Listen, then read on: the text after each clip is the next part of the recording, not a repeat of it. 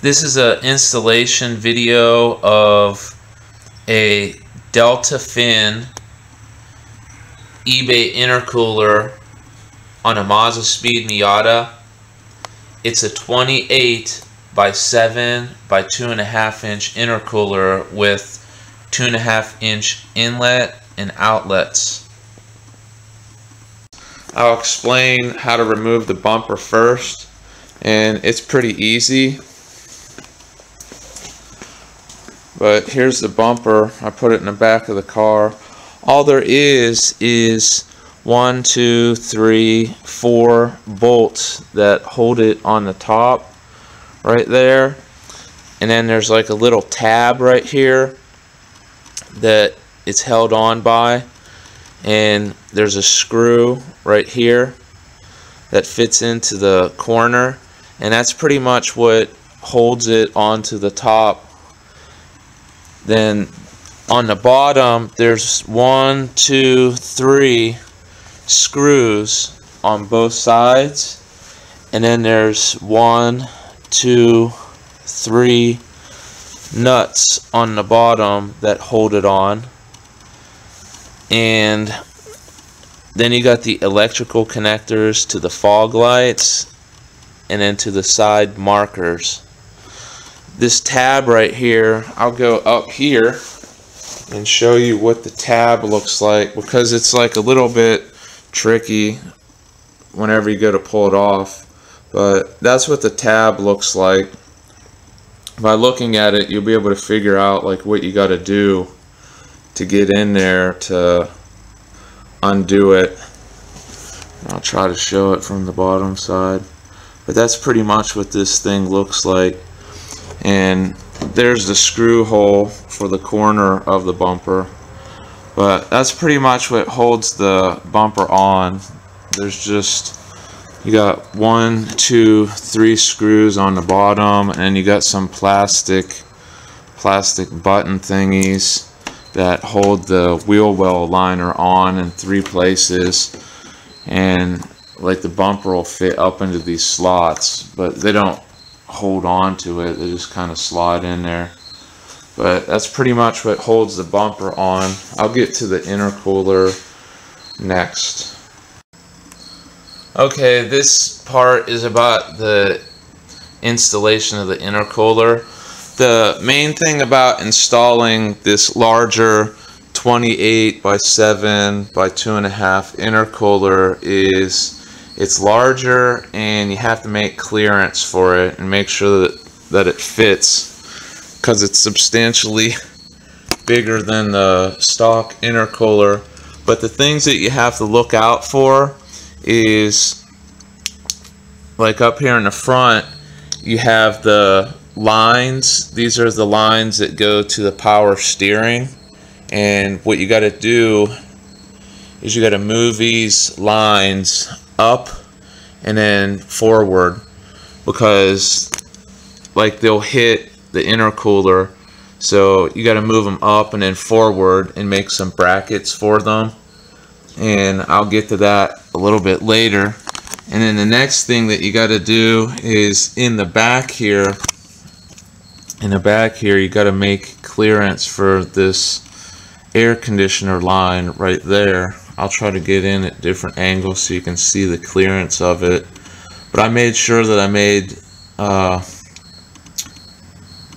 enough clearance for it I can stick my finger in there between the intercooler and the line so it isn't really gonna ever hit even whenever there's like vibration going down a bumpy road or whatever there's plenty enough clearance that's not gonna rub a hole through any of the lines but that should give you a good idea on the clearance of the line in the rear. The next thing that you got to make sure that you got clearance for is the frame of the car. Like right here where the tie-down hooks are, like this is where the frame of the car is. So you just got to make sure that there's room between the intercooler and the frame of the car right there. And you can see I got plenty enough clearance right in here between the frame and the intercooler on this side And then I'll go over to the other side here and try to show the clearance over there. But you can see there's plenty enough clearance between the frame and the intercooler itself. And as far as the power steering line right there, you can see how much room that I've got left for it. There's there's not that much room for it. I had to really move them up and tie them down and make brackets for it so that they won't interfere with the intercooler. Another thing that I did is I made like some spacers and it dropped. At first I put the intercooler up too high but I just put some spacers in where the brackets are on the intercooler and lowered the intercooler down just a little bit. You can see that. And now there's definitely a lot of space between the intercooler and those power steering lines. And I'll show a different angle for the power steering lines you can see there's plenty enough clearance over here one other thing whenever I was moving these power steering lines uh, there's like a little rubber bushing that kind of holds the lines in a bracket right over there. The the little rubber bushing kept popping out. So what I did is I put a wire around the bracket so that the bushing wouldn't pop out. And I'm telling you, it's a pain in the butt to put that bushing back into that bracket. You'll, you're better off just putting a wire around it first and it won't pop out whenever you're moving the lines around. One other thing that I did, I put this camera onto the ground, I guess, for a second. One other thing that I did is I used this right here whenever I was whenever I was uh, getting everything all set up and checking all the clearances I just used this and put the intercooler onto it and I was able to raise it up and down a little bit until I got it just in the right spot and made sure all the clearances were good. And then after I did that, after I did that, I made the brackets. Once I had the intercooler positioned, you know, down to the millimeter, I made all the brackets and everything. I'll stop the video and make another video on the brackets and stuff. As far as the brackets are concerned, these right here are the stock brackets for the intercooler and the power steering lines. Like the power steering lines fit right here. These brackets kind of fit this way up against the frame of the car right here. And what I did is the bolts that went through right here, uh, I just made brackets. You can see these little L-shaped brackets that I made. I just used I just used the bolts that went through here and made a bracket and then used the bolts and put this bracket using those bolts onto the frame of the car. And then the power steering line had their own little brackets on them already that kind of have some rubber that goes around the line. So that's how I made those. So I'll get these out of the way for now. And then this bracket right here it went right here like this and it went in behind the frame of the car right there and it was holding the the horn right here. But for the horn I took the bracket on the horn that was already there and then I bent the bracket a little bit and I elongated the hole. You can see right there the hole has been elongated so that the whole entire horn kind of falls downward a little bit so that whenever I put the bumper on, the bumper comes right here. So that horn with a bolt hole elongated, the whole entire thing kind of fell down a little bit. So it'll definitely clear the bumper now. And it won't rub against anything. So it's not rubbing against the frame, it's not rubbing against the power steering lines or anything. So I just made it fit. I bent this a little bit so that it would clear. But I'll get this out of the way here.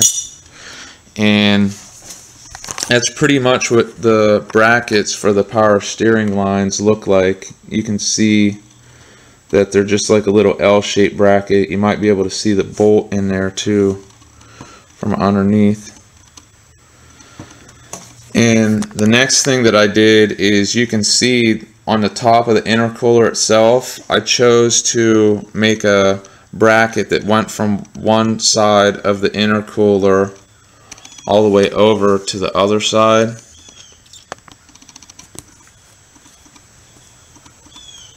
You can see it right there. And then I'll go underneath the car here. And then you can see the bracket right there. I chose to do it that way. I, I think it was just a little bit easier than making like these really crazy L shapes with the thick material that I had. But that's what my bracket looked like from underneath. And like I was talking about before, you can see that little that little spacer that I made out of the bracket material. It's about an eighth of an inch thick. And I just put in those spacers in the power steering lines. I was able to control the height of the intercooler by making those spacers and I made just enough room for the power steering lines to go over the top of the intercooler by just adding spacers or removing spacers. And the upper the upper brackets right here that's what they do. They control the height of the intercooler so I could raise and lower the intercooler using these. But the only problem with uh, these brackets is the intercooler cannot move up and down whenever they're secured but the bottom of the intercooler can move forward and backward kind of like a swing. So what I did is I made this bracket on the bottom to stop the bottom of the intercooler from moving back and forth so that's why I made that bracket right here and I'll just show you what it looks like there's really not much room back here underneath the car.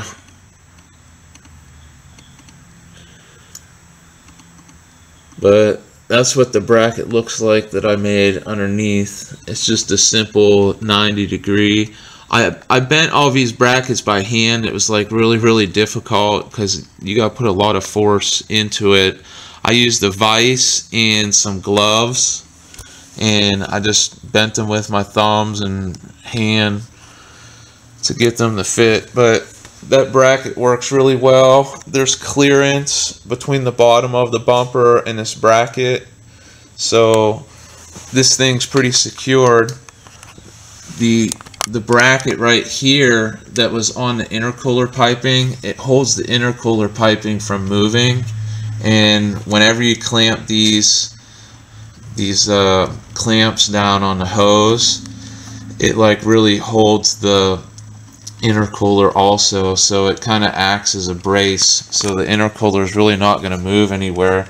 I could like kind of move the whole car you know by grabbing onto this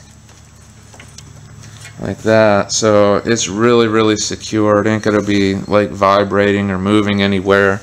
And same thing with the power steering lines. Like they're not gonna move anywhere so they're not even gonna budge.